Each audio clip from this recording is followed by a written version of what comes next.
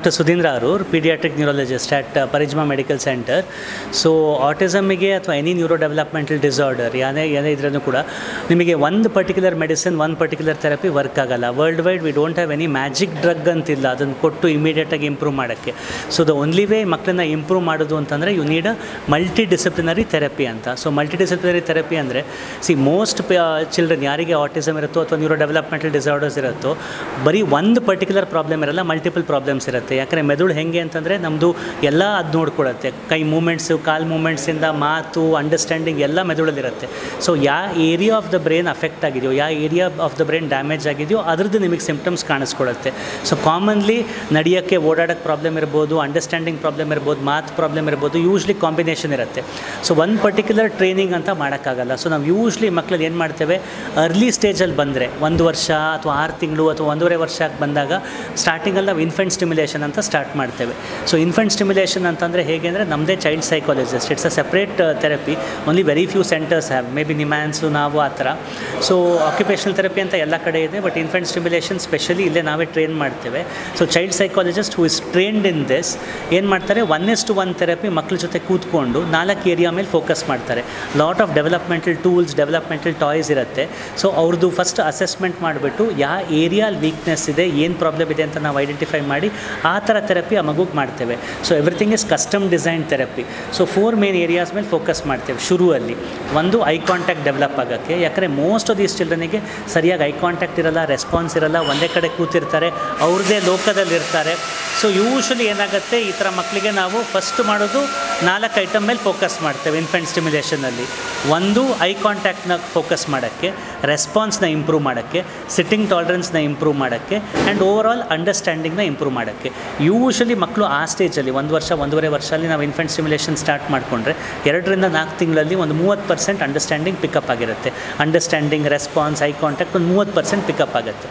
So ಆವಾಗ ನಾವೇನು ಮಾಡ್ತೇವೆ? ಆ ಸ್ಟೇಜಿಗೆ ಬಂದರೆ, ಎರಡು ತಿಂಗಳಾಗ್ಬೋದು ನಾಲ್ಕು ತಿಂಗಳಾಗ್ಬೋದು ಕೆಲವು ಮಕ್ಕಳು ವೆರಿ ಸಿವಿಯರ್ ಆಗಿದ್ದರೆ ಆರು ತಿಂಗಳಾಗ್ಬೋದು ಸೊ ಆ ಥರ, ಆ ಲೆವೆಲಿಗೆ ಬಂದಾಗ, ಆವಾಗ ನಾವು ಸ್ಪೀಚ್ ಥೆರಪಿ ಸ್ಟಾರ್ಟ್ ಮಾಡ್ತೇವೆ. ನೆಕ್ಸ್ಟ್ ಸ್ಟೇಜ್ ಸ್ಪೀಚು ಸ್ವಲ್ಪ ಅಂಡರ್ಸ್ಟ್ಯಾಂಡಿಂಗ್ ಬಂದ ಮೇಲೆ ಸ್ಪೀಚ್ ಸ್ಟಾರ್ಟ್ ಮಾಡ್ತೇವೆ. ಇವಾಗ ಫಿಸಿಕಲ್ ಡೆವಲಪ್ಮೆಂಟೇ ಪ್ರಾಬ್ಲಮ್ ಇದ್ದರೆ ಫಿಸಿಯೋಥೆರಪಿ ಸೈಡ್ ಬೈ ಸೈಡ್ ಮಾಡ್ತಾ ಇರ್ತೇವೆ.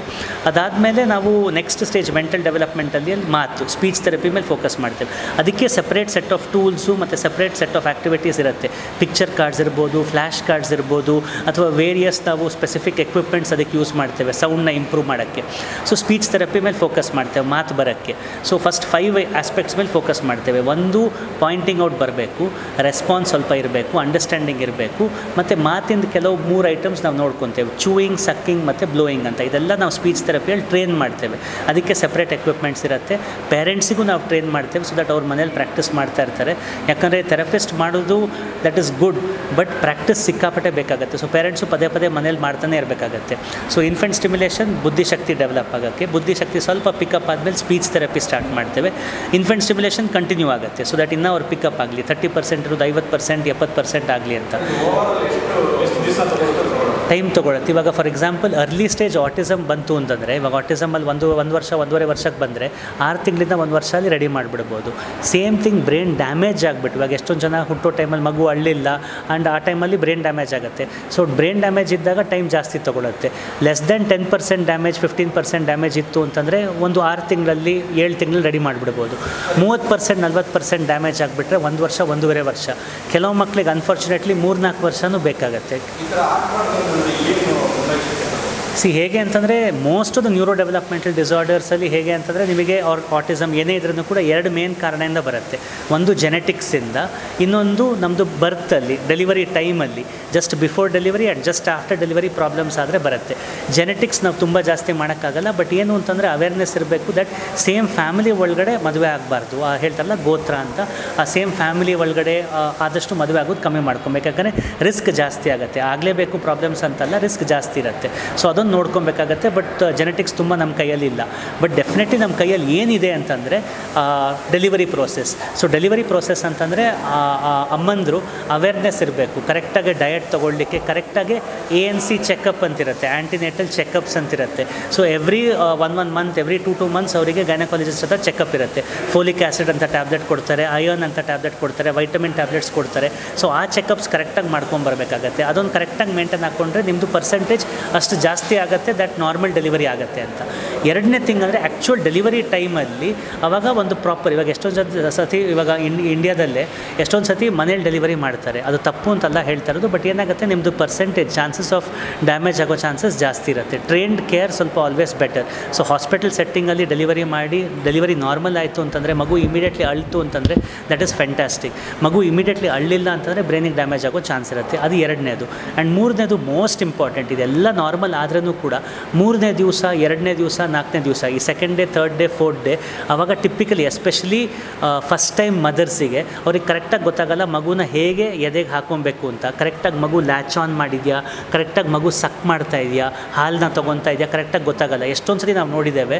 ಸೊ ಏನಾಗ್ಬಿಡುತ್ತೆ? ಹಾಲು ತೊಗೊಳ್ಳೋದು ಅಥವಾ ಮ ಬ್ರೆಸ್ಟಿಗೆ ಹಿಡ್ಕೊಳ್ಳೋದು. ಎದೆ ಹಾಲನ್ನ ತೊಗೊಳ್ಳೋದು ಕರೆಕ್ಟಾಗಿ ಆಗಿಲ್ಲ ಅಂತಂದರೆ ಎರಡನೇ ದಿವಸ ಅಥವಾ ಮೂರನೇ ದಿವಸ ಟಿಪ್ಪಿಕಲಿ ಶುಗರ್ ಪೂರ್ತಿ ಡೌನ್ ಆಗಿಬಿಡುತ್ತೆ ಮಗುವಲ್ಲಿ. ಆ್ಯಂಡ್ ಅದು ನಮಗೆ ಹೊರಗಡೆಯಿಂದ ಗೊತ್ತೂ ಆಗಲ್ಲ.